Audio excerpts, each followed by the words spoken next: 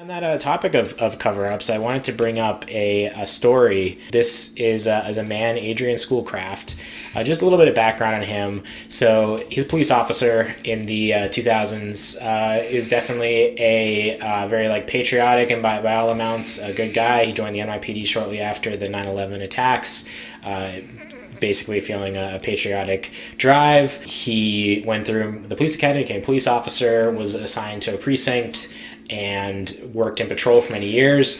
Uh, he was later, after what we were going to talk about happened to him went down, he, he expressed that as a police officer, he uh, felt that you know he took his job very seriously. He was very serious in, in this kind of sense of personal justice. So yeah, in the um, in the '90s, uh, following off of the the '80s and the kind of uh, you know crime wave that you might describe that New York was having in the 70s and 80s, you had a big push into this system called CompStat.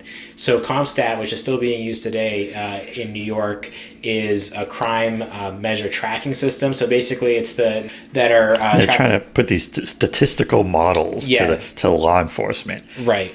And so it's the NYPD year by year tracking crime. And so, similar to how corporations, they're always wanting to see a profit margin and they will do anything within that quarter to get that profit margin just a they little bit a better. better quarter, yeah.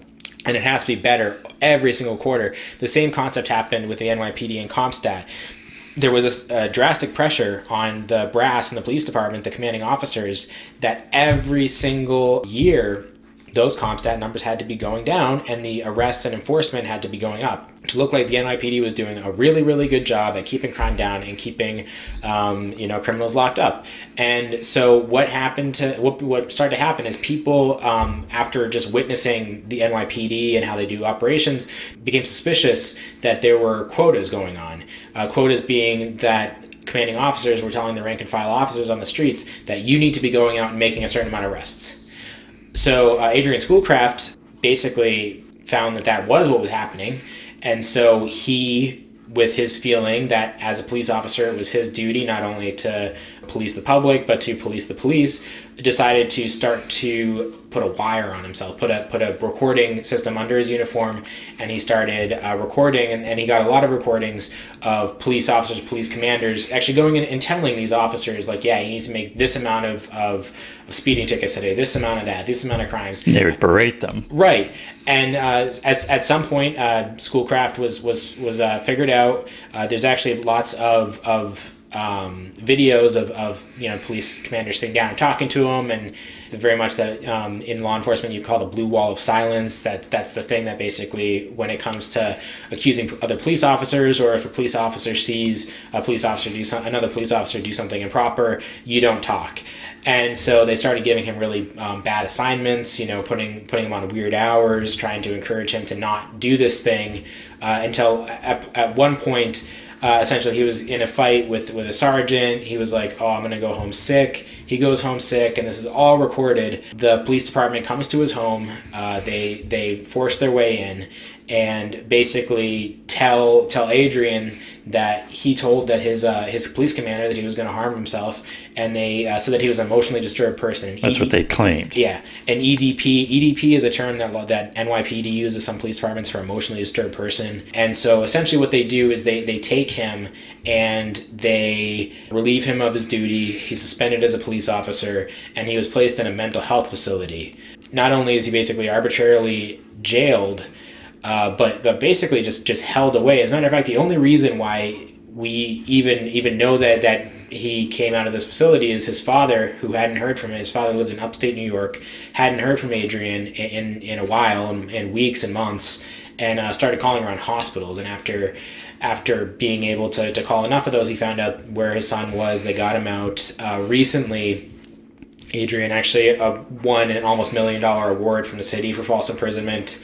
Uh, he no longer works as a police officer and, and actually um, has never really re- never really recovered his life in the same way. I believe he's still uh, he's living with his father in upstate New York and, and has some issues you know surrounding what happened to him. But you know it's a, it's a, it's a good example of when somebody who is inside that power uh, starts to speak out against that power, how they will be erased and any they will be shunned down, othered, and basically their, their voice will be censored and, and covered or disappeared and, and disappeared. Yes.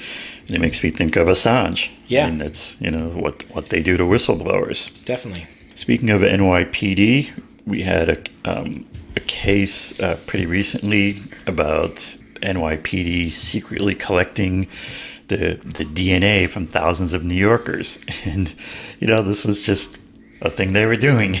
Yes, and it, it, reminds me of it's kind of a cliche in some of the the movies of how they'll um, give the bad guy a cup of coffee or a cigarette.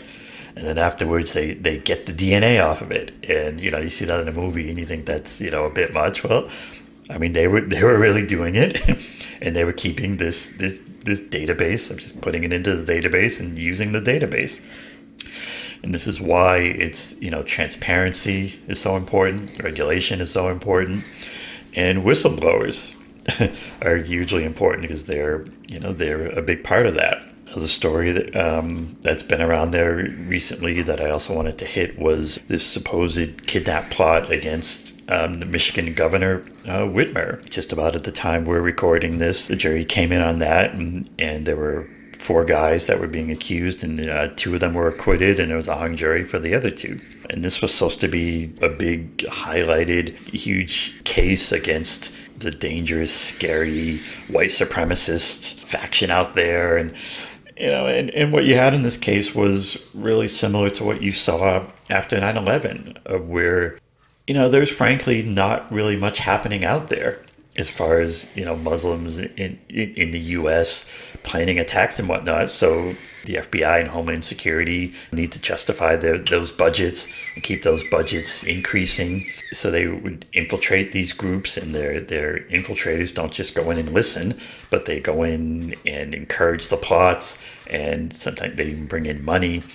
And, it, and and it's clear that's what, what happened in this case, and that's why they, they couldn't get a conviction what was supposed to be supposed to be an easy case because they basically find these guys that are frankly kind of doofuses that are easily led. When you rile them up and you say we're gonna you know do this thing in this plot, and you know maybe these are guys who who should have maybe had some kind of enforcement for this idea that basically none of this happens if the FBI and the and their guys aren't in there planning it and making it happen where this kind of ties into censorship is you have you had a spokesman for for Whitmer, the governor, coming out with this wonderful quote: "The plot to kidnap and kill a governor may seem like an anomaly."